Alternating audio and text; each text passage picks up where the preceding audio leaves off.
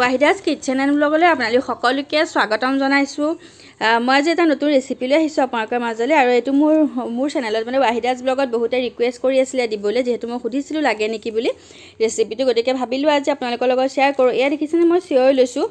আপোনালোকে যিকোনো চিঞৰ ল'ব পাৰে মই যে এইটো লৈছোঁ এইটোৱে ল'ব সেইটো নহয় একদম বগা এটা পায় সেইটোও ল'ব পাৰে অকণমান এইটো কালাৰফুল এইটো কেঁচা হয়। গতিকে এইটোও ল'ব পাৰে আৰু এটা একদম ৰেডিমেড পোৱা যায় ভজা সেইটোও ল'ব পাৰে। ভজাটো হ'লে বেছিকৈ ভাজিব নালাগে যেনিবা কিন্তু এই কেঁচাটো হ'লে অকণমান ভাজিব লাগে। গতিকে মইনো কেনেকৈ বনাওঁ আপোনালোকৰ লগত শ্বেয়াৰ কৰিছোঁ। এখন এখন কেৰাহী পাতি লৈছোঁ মই ইয়াত অকণমান গৰম হ'ব দিছোঁ আৰু এতিয়া অকণমান ঘি দিছোঁ। ঘিখিনি অকণমান গৰম হ'ব লাগিব। একেবাৰে গৰম ধোৱা ওলাব নালাগে জাষ্ট অকণমান গৰম হ'লেই হ'ল এইখিনি গৰম হোৱাৰ পাছতে এবাটি মই এয়া চিঞৰ দি দিছোঁ যিহেতু মই আজি অকণমান সৰহকৈ বনাম চিঞৰটো। যদি আপোনালোকে কমকৈ বনায় তেনেহ'লে ইমান সৰহকৈ নবনাব। যিহেতু ইয়াত আমি গাখীৰ দিম কাষ্টাৰ্ড দিম। অলৰেডি বহুত মানে সৰহ হৈ যাব সেইকাৰণে কমাই দিব। চিঞৰটো হয়তো বহুতে দিওঁতে বহুত সৰহ হৈছে নেকি এনেকুৱা ভাবিব পাৰে কিন্তু সদায় কমাই দিলে বস্তুবোৰ আচলতে খাবলৈ ভাল হয়। আৰু এয়া মই ইমানখিনিলৈকে ভাজিছোঁ। ইয়াতকৈ বেছি ৰঙা কৰি নেপেলাওঁ আৰু বেছি ৰঙা হৈ গ'লে ক'লা হৈ যাব। আৰু পিছত দেখিবলৈ খুবেই বেয়া লাগিব। গতিকে ইমান একদম খুব ধুনীয়া গোন্ধ এটা ওলাই ভজা গোন্ধ এটা। সেই গোন্ধটো যেতিয়া অলপকৈ ওলাই যাব তেতিয়া গম পাব যে এইখিনি হৈ গ'ল। আৰু মই যিটো বাতিত চিঞৰি লৈছিলোঁ সেই একেটা বাতিতে দুকাপ এই দুটা বাতি এটা বাতিৰে দুবাতি মই গাখীৰ দিছোঁ। গতিকে এইখিনি এতিয়া মই সিজাব লাগিব যিহেতু আমাৰ চিঞৰিখিনি সিজা নাই ভাজিহে লৈছোঁ। গতিকে এইখিনি ধুনীয়াকৈ এতিয়া সিজি লওক। গাখীৰখিনিতে ধুনীয়াকৈ সিজাই ল'ম। আৰু আপোনালোকে যিকোনো গাখীৰ ল'ব পাৰে গৰু গাখীৰ ল'ব পাৰে যিকোনো গাখীৰ ল'ব পাৰে। আৰু এতিয়া মই এইটো কাষ্টাৰ্ড লৈছোঁ কাষ্টাৰ্ডটো আপোনালোকে যিকোনো ফ্লেভাৰ ল'ব পাৰে মই ভেনিলা ফ্লেভাৰ লৈছোঁ। আৰু যিহেতু চিঞৰ আমি গাখীৰ কাষ্টাৰ্ড চব মিক্স কৰি বনাইছোঁ গতিকে সেইকাৰণে কাষ্টাৰ্ডটো বহুত বেছিকৈও নল'ব বহুত কমকৈও নল'ব। মই এই সৰু চামুচখনৰে দুচামুচ কাষ্টাৰ্ড লৈছোঁ। যদি একেবাৰে কম ল'লেও বেয়া লাগিব আৰু একেবাৰে সৰহ হৈ গ'লে কিন্তু বহুত বেয়া হ'ব খাবলৈ। এতিয়া ইয়াত মই ঠাণ্ডা গাখীৰ দি দিছোঁ আৰু আপোনালোকে কেতিয়াও গৰম গাখীৰ বা গৰম পানী কাষ্টাৰ্ডত কেতিয়াও নিমিলাব। যদি মিলাই দিয়ে কি হ'ব? হয়তো বহুতে জানে ডাঠ হৈ যাব। সেইকাৰণে সদায় ঠাণ্ডা গাখীৰ বা ঠাণ্ডা পানী মিক্স কৰিব লাগে। গতিকে এইখিনি মই ধুনীয়াকৈ মিক্স কৰি ল'লোঁ যাতে গোটা গোটাটো একেবাৰে নাইকিয়া হৈ যায়।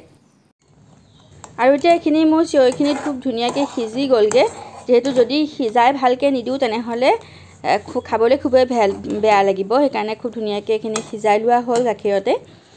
এতিয়া মই চেনি অলপ দিম। চেনি এক চামুচখনে মই দুচামুচ দিম। কিন্তু কি হ'ল মই ইচামুচ দিওঁতে কেমেৰাটো অন নহ'ল সেইকাৰণে থাকি গ'লগৈ। দুচামুচ চেনি দিলোঁ আৰু খুব বেছি চেনি হ'লেও যিহেতু খাবলৈ বেয়া লাগিব বহুত বেছি চেনি হ'লে মিঠা বস্তুবোৰ মিঠা জোখতে হ'ব লাগে তাতোতকৈ বহুত বেছি হৈ গ'লে খাবলৈ ভাল নালাগে। আৰু বহুতে মোক ক'ব পাৰে যে বা চেনি ঠাইত কিবা বেলেগ দিব পাৰিমনে আপোনালোকে কনডেঞ্চ মিল্ক ব্যৱহাৰ কৰিব পাৰে কিন্তু মই কনডেঞ্চ মিল্ক কেলৈ নাই দিয়া জানেনে? মই যদি এতিয়া কনডেঞ্চ মিল্ক দি দিওঁ তেনেহ'লে বহুতে এই ৰেচিপিটো নবনাবই। ক'ব ভাবিব যে কনডেঞ্চ মিল্ক দিলেহে এইটো বস্তু ভাল হয় সেই বুলি ভাবে সেইকাৰণে মই কি কৰিছোঁ যিসকল নজনাসকলৰ কাৰণে একেবাৰে সহজভাৱে সহজ হিচাপে বুজাইছোঁ সেইকাৰণে মই ইয়াত কনডেঞ্চ মিল্ক নিদি পেলাই মই চেনি দিছোঁ। যিহেতু মোৰ ওচৰত আছে মই দিবও পাৰিলোঁ হয় কিন্তু আপোনালোকক বুজাবৰ কাৰণে মই চেনিকে দিছোঁ কনডেঞ্চ মিল্ক ব্যৱহাৰ নাই কৰা ইয়াত। যদি কাৰোবাৰ ঘৰত আছে তেনেহ'লে কনডেঞ্চ মিল্ক দিব তেতিয়া খাবলৈ আৰু সোৱাদ হয়। চেনি দিলেও সোৱাদ হয় এইটো নহয় যে সোৱাদ নহয়। এতিয়া মই যিখিনি গাখীৰত কাষ্টাৰ্ডখিনি মিক্স কৰি থৈছিলোঁ সেইখিনি ইয়াতে এনেদৰে দি দিছোঁ। আৰু যেতিয়া এইখিনি আপোনালোকে বনাই থাকিব কাষ্টাৰ্ডখিনি দিয়াৰ পাছত হয়তো বহুত কেতিয়াবা হৈ যায়। কেতিয়াবা নহয় প্ৰায়ে হয় যে ডাঠ হৈ যায়। তেতিয়া একো ভয় কৰিব নালাগে। গাখীৰ অলপ গৰম কৰা গাখীৰ অলপ দি দিলে একেই হৈ যায়গৈ। আৰু গৰম কৰা গাখীৰ দিব ঠাণ্ডা গাখীৰ নিদিব। যিহেতু মোৰো অকণমান এতিয়া ডাঠ হৈছে মই ইয়াত এতিয়া অকণমান গাখীৰ দি দিলোঁ। গতিকে এয়া ধুনীয়া হৈ গ'ল। যিহেতু অকণমান গাখীৰ দি দিলোঁ দুই তিনি চামুচ যিখন চামুচেৰে লৰাইছোঁ সেই চামুচখনে দুই তিনি চামুচ গাখীৰ দি দিলোঁ।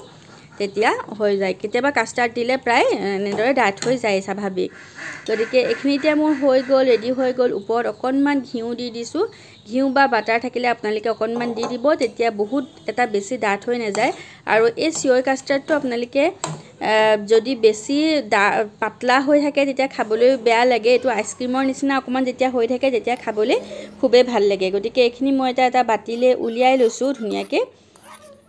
আৰু ৰোজা মাহতেই হওক বা এনেও কিবা এটা পাতে যদি আপোনালোকে ঘৰত যদি আপোনালোকে এই বস্তুটো বনায় তেনেহ'লে খাবলৈ দুয়োটাই ভাল লাগে। কাৰণ কিয় জানেনে ইয়াত যিহেতু কাষ্টাৰ্ড থাকে চিঞৰি থাকে সেইকাৰণে খাবলৈ সোৱাদটো বহুত বাঢ়ি যায়। গতিকে মোৰ এইখিনি ঠাণ্ডা হৈ গ'ল। ঠাণ্ডা হোৱাৰ পাছত দেখিছেনে ওপৰৰ লেয়াৰটো কিমান ধুনীয়া হৈ আছে একদম ক্ৰিমি হৈ আছে।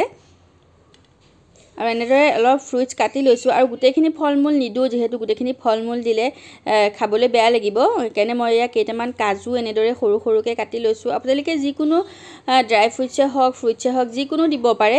মোৰ ওচৰত এতিয়া মোৰ যিকেইটা আছে মই সেইকেইটাই ব্যৱহাৰ কৰিছোঁ। ইয়াতে মই এতিয়া এইখিনি আপেল অলপ দি দিছোঁ। যি যি ফল মূল থাকে চব দিব তেতিয়া খাবলৈ খুবেই সোৱাদ হয়।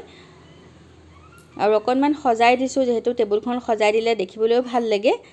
আৰু ওপৰত কাজুখিনিও দি দিলোঁ বাদাম আৰু আঙুৰখিনি দি দিলোঁ ডালিমখিনি দি দিলোঁ গোটেইখিনি বস্তু দি পেলাই এতিয়া মই ধুনীয়াকৈ সজাই দিলোঁ আৰু সজাই দিওঁতে দেখিবলৈও খুব ধুনীয়া হৈছে।